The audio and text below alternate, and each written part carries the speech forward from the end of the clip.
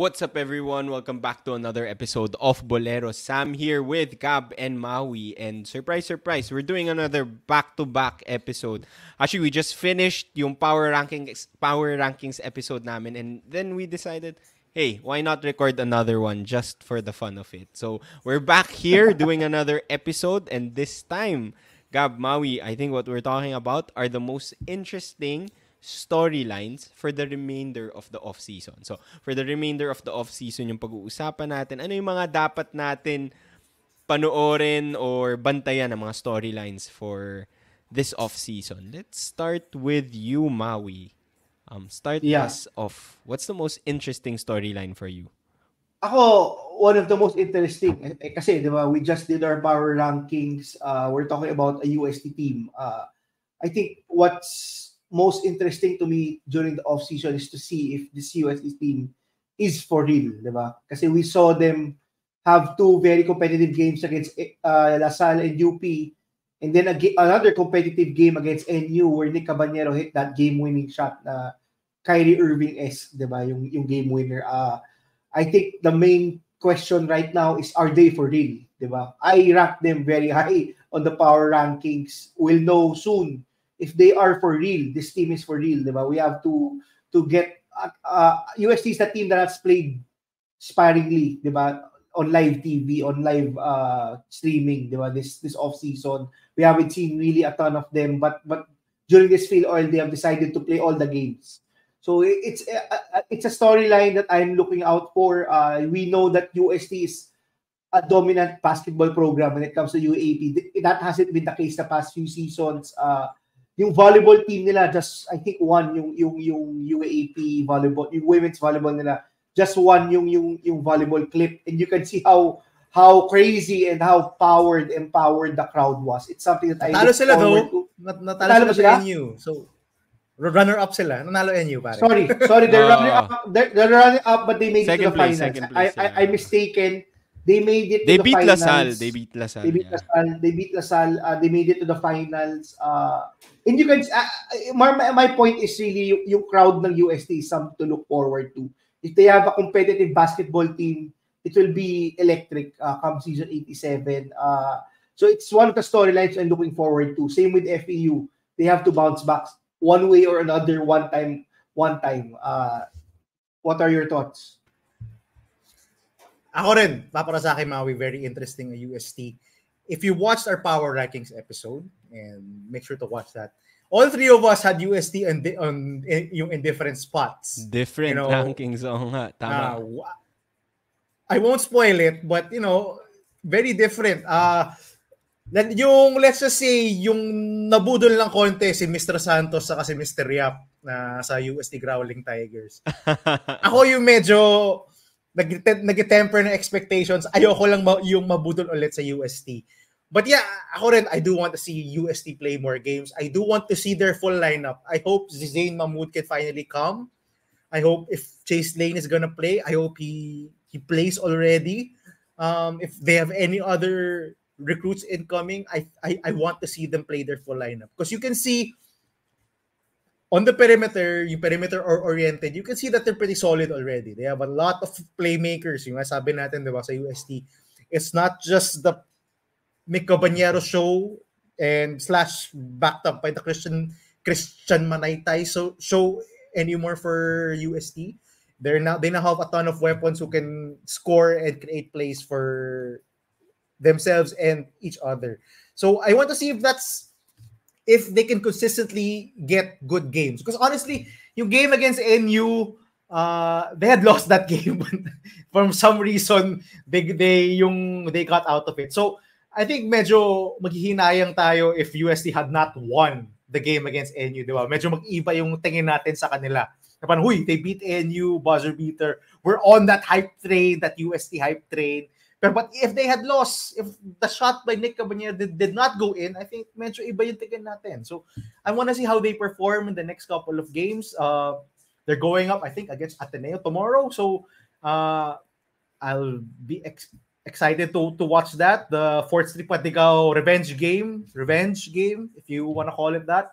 Um, and just want to see how they show up. Uh, will will will UST play to the same level as Ateneo? Will Ateneo beat UST? Then then we can look different UST. Is that simply uh three games of playing well versus consistently showing the same level of basketball that they yung, yung that they showed against LaSalle, UP, and NU. Sammy. Yeah, I I agree. UST is the most intrigue, one of the most intriguing teams. So yung storyline behind them is something that is to look out for. Um, siguro the one thing that I want to add there, and this applies to all the teams, is as part of like the storyline is when do we get to see the complete lineup? So for UST, we're still waiting for Zain Mahmood, diba? who was one of the biggest recruits of UST. Um, I don't honestly, I don't know when he's going to be coming over to the team, but that's also another wrinkle to the excitement or the hype of uh, watching this UST team is getting to see all of the recruits. Sorry, si Chase Lane din pala. We haven't seen or heard from. So, yun din yung medyo inaabangan mo pa eh. The other key recruits of UST. Um, let's move on to the next storyline. Gab. Well, allow me to be a bit of a homer and uh, just mourn or shout out my Ateneo Blue Eagles because they have been bad. And if you watched our power rankings, you know what we think of the Ateneo Blue Eagles. And there's no sugarcoating it. They have been bad. And they have not played together at all, except for one game against LaSalle where they were destroyed. So, yeah, I just want to see them. I, I want to see Ateneo play together. I want to see Jared Bahay play more games with Mason Amos. I, I want to see the the full rotation that's gonna play for season 87 because we haven't watched it. It's been a different cast each and every game. Um, I want to see uh, if the shooting will, if they can add more shooting, if they can shoot more consistently, if Chris Koon can score more consistently. I want to see Mason finally have a breakout game. He hasn't had one. We kind of expect him to be one of the guys to carry the offense. So I do hope we see that. I want to see Balogun. I, I, I I, I, want to see Kobe Demisana if he's recovered already from his uh, sickness last injury. I I want to see him play. Uh, I just want to see a whole Ateneo roster play. I mean, as an Ateneo fan, and I think from our Ateneo uh, viewers out there, fans out there, you'd want to see the team. You want to see the full team that was promised. And so far, we have not gotten. Yet. We've lost five games. Uh, straight in the preseason again. And I I, I want to see some chemistry. I, I want to see I want to hope as an Ateneo fan. I want to hope. Because right now, hope hope is so minimal for us Ateneo fans. For, for us Ateneans right now, it's the hope is is dwindling down for season 87 for a chance to compete. You know, final four man lang, there's a chance to compete for the final four. The hope is not there right now, huh? So, yeah, I I I want to be excited. You must like sa UST, yung gusto ko ma-hype up man lang ng konti. Coach Tab, Ateneo, Ateneo Blue Eagles, please, just allow me to hope for a little bit just give me that hype, a little bit of a hype that yung talaga to see uh, the the fruition of all the recruiting and of, and of all the training that's been happening, yung that's been happening since the end of season 86. Sana man lang makita natin. Because uh, we saw a, a Bahay and Amos combination in Batangilas. We saw how productive it can be. And if if they are gonna live up to their potential, it has to start now. It can't be the start of season 87 lang natin makakita yung yung uh, Jared Bahay, Mason Amos yung combination. It can't be na start of season 87 pa lang natin makakita si Balogun actually get a bulk of minutes. Diba? We have to see it now. We have Ateneans can't just always point to excuses when when when Ateneo lost. They have to see a product of something. So that's the most one one one of the most interesting storylines for me. Uh, maybe it's a little bit of recency bias that I just saw Ateneo play and lose against Adamson in the last minute, last few seconds of that uh, game last Friday. But yeah, that's it for me. Uh, give me a chance to hope. Hope lang. Hope lang. Kahit konti. Yeah. Sammy, uh, Yeah, I think I think God Go said it most uh, when it comes to Ateneo. I, I have to agree. Uh, and I just say, tama si Gab, give us some hope uh, to the Ateneo community. give the Ateneo community uh, a chance to hope uh, this off-season. Hopefully they get healthy. Hopefully we see uh, a more intact lineup within the next few days. Uh, but Sammy also mentioned during our previous episode that it might not be might not be the case because they're playing a ton of games in a short span of time. So maybe we don't get that chance. But hopefully we do. Uh, that's something to look forward to. Definitely, uh, Ateneo has to show some promise, uh, has to show some uh, potential for for next off season or maybe so that all the excuses also can end. Diba? Maybe we just have to accept the fact, or maybe there's some glimmer of hope. So that's something to look forward to for me, Sam. And just to add, uh, although Ateneans can be supportive of the Blue Eagles, they can also turn on on you. I think uh, Marami sa Maui, ding toxic alam na, fans sa Ateneo. Tama yan. maraming toxic fans ang mga Ateneo. And Ateneans have very high standards just because we've won for so long already. The moment that we start losing, you will see a lot of uh, um, how do I say this? Uh, disagreements come. Irrational Diba? people. Yes, a lot of irrational people Come and they will say a lot of bad things. You, you know how Tama. Athenians can Totoo be. yan. Al- alam Totoo natin yan. lahat yan. So, crucial yung glimmer of hope eh. Yung that little bit of hope that you Mm. give the Ateneo fans na, uy, nanalo tayo ng three state games. Baka may chance tayo. You know? Crucial yun eh. Because as soon as they feel down, they will get down in your team. Parang yung, uh, I don't want to make a little bit of a comparison, but like the the Knicks in the NBA, diba? As soon as you start playing well, they will back you up. They will cheer you as hard as they could. But if you start playing badly, oh my God, they will turn on you. And Ateneans do have that kind of uh, attitude. I'm just saying. Sammy, go ahead. Yeah, just to add to the interesting storylines related to Ateneo, I guess people still want to see more of Jared Bahay. How how good is Jared Bahay against uh, UAAP seniors competition? Um, and then for Ateneo, something we've been talking about. Can we figure out our big man problem? Um, Udodo hasn't been playing a lot. Um, actually, a lot of the bigs haven't been playing a lot. Even Mason Amos. So hopefully, as you guys mentioned, we get to see more of them the upcoming days. They're gonna play a ton of games. So we'll we'll see. We'll see. Um, moving on to the next storyline, I think I'm gonna go from one of the uh, worst teams or bottom teams so far in the preseason to the top teams. Uh, we know LaSalle has lost to UP UP already, but is there a team that can beat UP or LaSalle? Uh, we've again, I don't want to spoil the I don't want to spoil the um, power rankings, but we all agreed UP and LaSalle are in a separate tier on their own. But is there a team that can sort of um figure out a way to beat these two teams and so make make this upcoming season 87 more interesting. Because I think everyone if you asked any UAAP fan right now who's going to make it to the finals or who's going to win the championship it's UP and LaSalle it's really those top two t- teams. But big question now is there a team that can beat those two teams? And we'll get to see the other teams play more um hopefully they'll be more complete now and i think that's something that we should look out for diba? lalo na UP i think they haven't been they haven't lost a single game in the preseason anything you you guys want to add Yeah, uh, ako, I, I would say the same. Uh, but there have been very close matches naman, di ba? At the very least. Uh, but again, who will get over the hump and deal these teams, Tama uh, naman, tama. another loss? Another loss, di ba? We've seen Alarcon really step up with a couple of game winners this offseason. Uh, JD Cagulangan has been spectacular also in the clutch. Uh, when you talk about LaSalle, you're talking about Kevin Quiambao and Policarpio having that one-two punch. Uh, so yeah, uh, again, we, we always talk about parity. Uh, I think all three of us agree that parity is something that we want when it comes to the UAAP.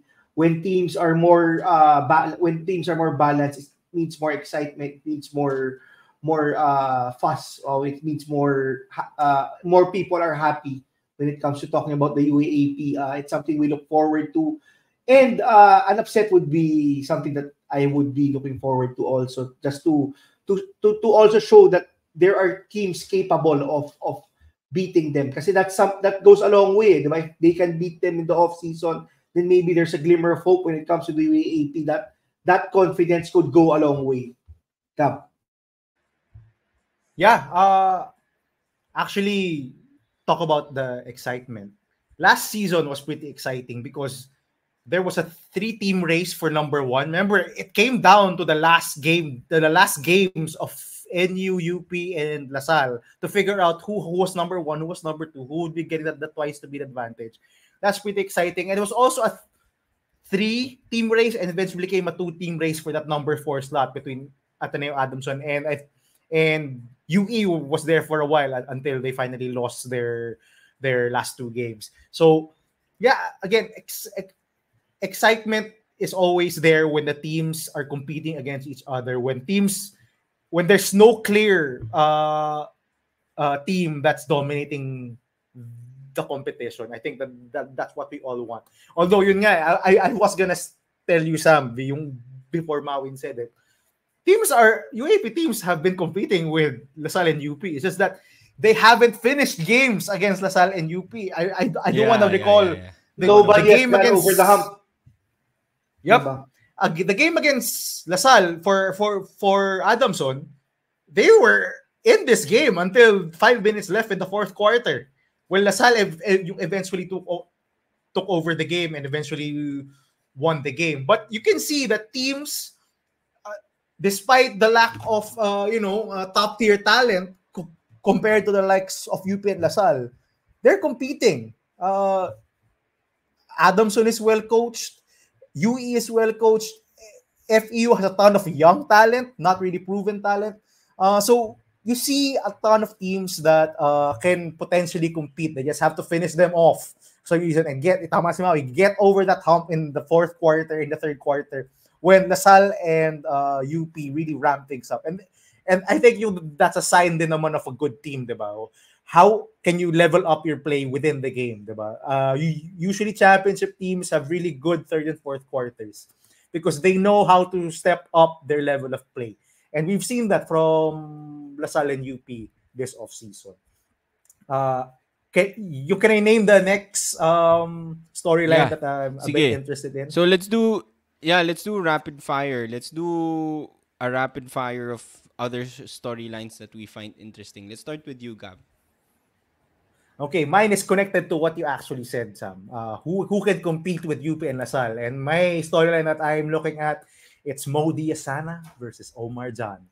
Because we've seen them alternate games all Yun. the time. Oh, Yun. yes. It's that we've been discussing this for weeks now, and it's just listen, we haven't talked about NU a ton on the past few weeks, simply because you know it's the same old thing, the same same lineup.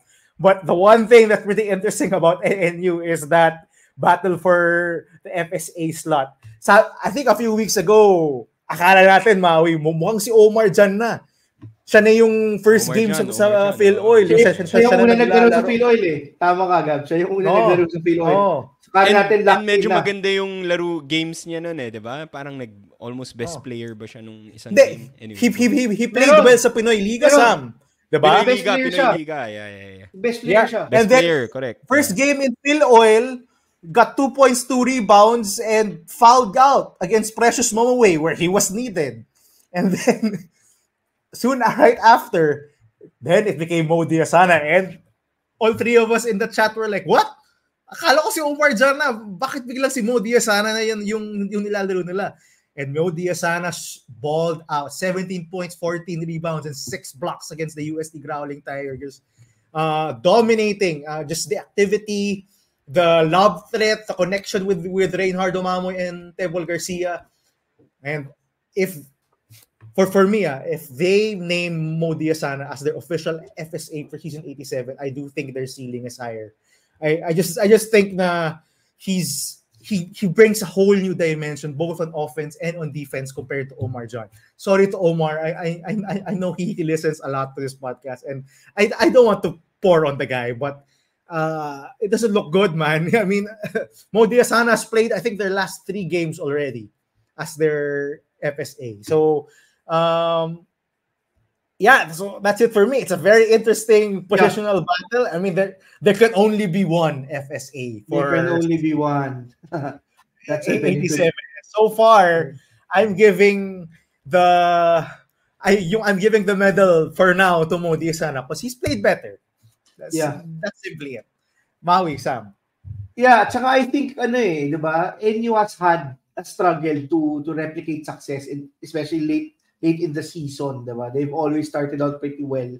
And props to Omar John. I think that's also because of stability nga during the start of the season. The problem is when it comes to those crucial games, when it comes to that end of the season, seems like there's something missing with Omar John. Uh, it's been the case for the past two seasons. Uh, maybe changing things up can can bring another breath can breath can can bring them another uh, dimension this coming season. Uh, I think what we've seen with Diassana so far this season, this off season, and from the last is that he's really capable also to be to, to be to, to be a competent FSA. And maybe switching things up can can bring something different for NU this coming season. So yeah, I, I would have to say this is a storyline worth uh, look, looking worth uh, following throughout the whole off season. Uh, kami, we've been saying this since the start of the Pinoy Liga, maybe a month or so before. Sam. Yeah, and I think Maui, you mentioned it again. I'm always referring to the previous episodes of power rankings, but may pros and cons naman, di ba? Obviously, like Omar John is a bit a bit bigger than Diasana, and he's the more experienced or veteran one over Diasana. But Diasana has the potential. He has the motor. He's more athletic or agile. So hopefully, we get to see more from Omar John. Because so far, ah, at least as of right now, we're we're seeing a lot of Diasana, and he's been performing really well. But if Omar John wants that that FSA slot for season 87, hopefully gets to step up and has the opportunity to play the next few games for um uh NU. Okay, moving on to the next one, Maui. Yeah, uh yung next one of the things that I'm looking forward to also is what will happen to UE now that uh, is out of the picture, ba? Uh, I think uh, UE has been the surprise team the past few seasons. They've been that kind of team, but but it's both a positive and a negative. A positive because they always surprise us and they always outperform. A negative because there's no sense of stability when you talk about the UE Red Warriors. Uh, it's fortunate that Momowei has decided to stay in UE. I think all of those off-season rumors have been squashed. Momowei is indeed staying in UE. Uh, that they have to build on that that stability. Uh, will probably be their FSA for the next probably three more years after this or four years. But the question is, who will be the other guys? Diba? We've seen players like Molintapang. We've seen players like Cruz Dumont. We've seen players like Abante. Uh, I think that that's something that they have to work on. Who will be the next uh, next part of those crew who will be consistent come season 87? Because you can't win with one guy in the UAAP. You can't win despite having Momowei uh, bring up those 2020 numbers, but they have to have other guys step up. They have to hit their three pointers. Now we have to get some of some some consistent guys, maybe one or two of them that could go a long way. So that UE rotation with something to be to to look forward to. Also, uh, I think that Coach Jack is the perfect coach to to have a team that will outperform. I think that's been proven throughout history, and now it's a question of uh, who will who, who from whom of those guys will, will will answer the question of Coach Jack. Uh, I actually think that's a pretty good question, Maui. Kasi it, you see from game to game na medyo iba-ibang tao yung yung sumasidekick kay Precious Mamawe, 'di ba? There's sometimes it's Cruz Dumont, Sometimes it's Rainier Maga. Sometimes si uh, muling tapang yung has a good game. It, but uh, yung nga, ang yung sobrang variable and you can see na they struggle a lot when it's just Momo Way contributing because nga um, he he misses a ton of free throws. I just have to say it. Uh, he gets a ton of inside points and sometimes he forces things yung kanyang habit from the from his first season, since season 86. Sometimes he forces the action instead of letting the game come to him. get the ball in the post, just operate from inside the paint. Sometimes you see it in yung in Pinoy Liga eh. Dinadala niya yung bola, he doesn't pass to his point guards, to his guards to bring up the ball, results in a lot of turnovers, and he still misses a ton of free throws. So, uh, I do hope na we do get that one or two consistent guys who can contribute to to to UE. And John Abate is also one of these guys na from game to game, hindi mo alam kung anong makakuha mo sa Mhm. kanya. Uh, Yeah. Same thing with with yung with sina Cruz Dumont, uh, Spandonis, uh, all of these guys just I so so sobrang inconsistent eh. Uh, you you juxtapose that to how they were last season and, and even the season before, diba? You had a core group. You know, you had Luis Villegas, you had si Payawa, who was always contributing, si Paranada. Last season, you had si Remoga, si Gerald Wilson. Now you don't know eh. You don't really know where the offense is coming from as- aside from Precious Precious Momoway. So interesting to see. Sammy, Yeah, you mentioned it, Gab. I think one of the things that we need to look out for is Precious Momoway's consistency on the free throw line because we know he's going to play. And I wouldn't be surprised if Momoway ends up playing the entire game, every game, because that's how much they need Momoway right now. And we've seen it being successful. We've seen him play an entire game and they beat NU. So, uh, nakita na natin yung road to success nila, but it's not gonna be easy because Momoway has to play the entire game and he has to shoot well or at least be decent on the free throw line. So, something to look out for. But, um, yung maganda sa UE, alam mo, despite always losing a number of key players, they always have that potential to surprise. Coach Jack can really um, make do with what he has and maximize his roster. So, so far in the preseason, I'm pleasantly surprised, I would say, despite losing a lot, a ton of players and Ray Remoga, potential MVP candidate, they have competed and they have battled.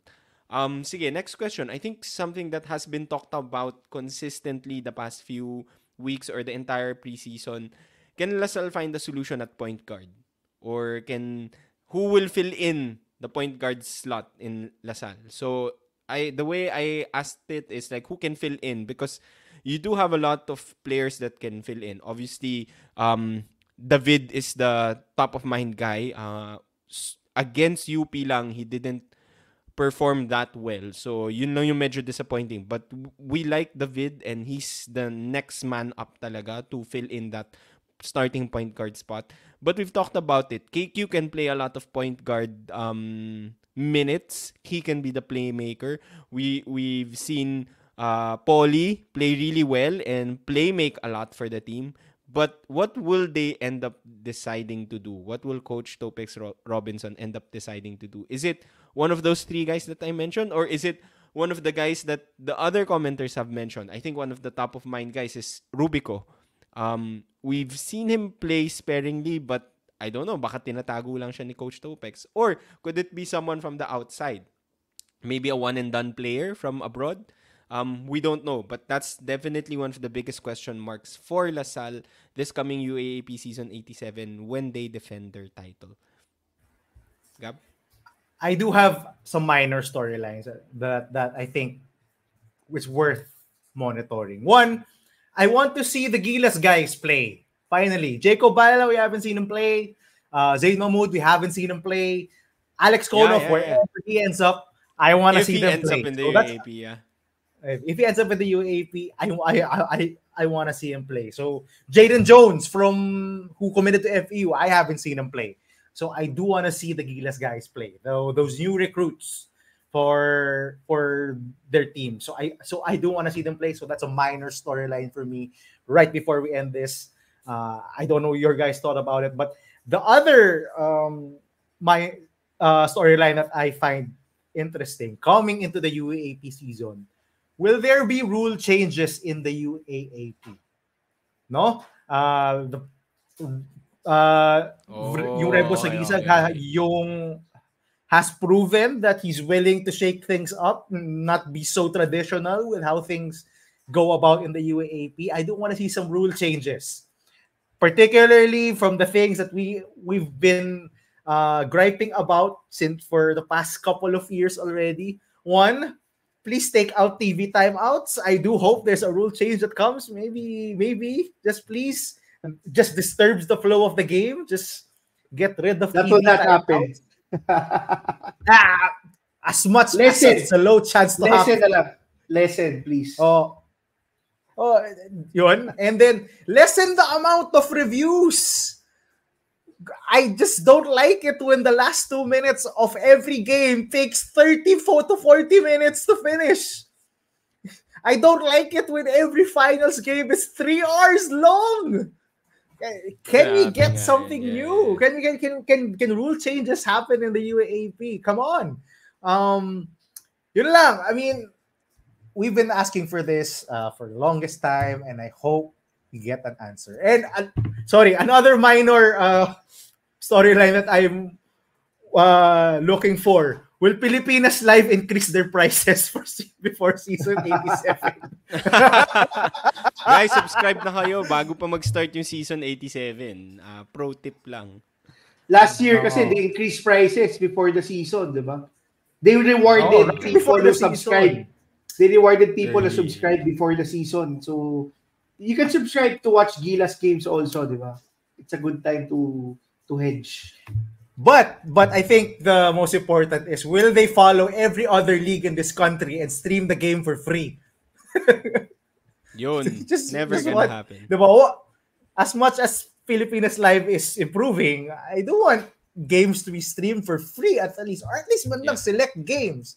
You know, get get new fans into the league. So those are three minor storylines. I don't know what your reactions are to them.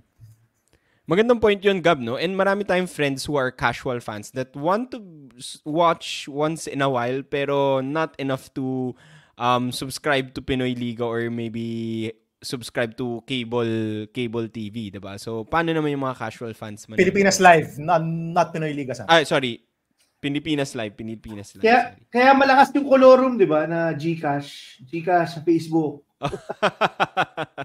I mean, yeah, uh, I, even Pati si Carl, Tamayo, Tamayo, by the way. Wala, Carl, Tamayo was watching watches through from, that. from Japan.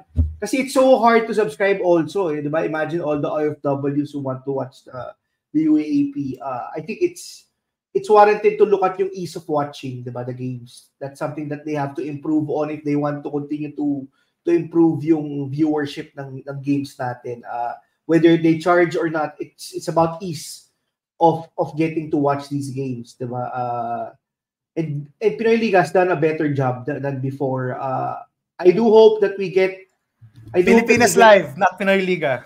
Uh, we're getting confused. We're getting confused. Yeah, Pilipinas Live. Sorry, ang dami Pilipinas namin, Live. ang dami kasi nating Pinoy Liga coverage eh. We've been Oh, watching yeah, dami a lot of natin Pinoy, Pinoy, Liga. we- so we've been watching we've been watching a ton of Pinoy Liga, yeah. But Pilipinas Live, uh, I do hope that much like the NCAA, we get Facebook, we get uh, YouTube. It's it's really just it YouTube. just improves yung ease of, of getting to watch these games. Uh, maybe they can find other ways to make money than than through the app. Uh, or find another service that they offer better when you subscribe to the app to entice people. Uh, but free free free TV is still the easiest way, and YouTube is there, Facebook is there.